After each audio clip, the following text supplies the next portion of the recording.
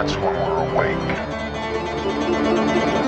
When we're asleep, our mind can do almost anything.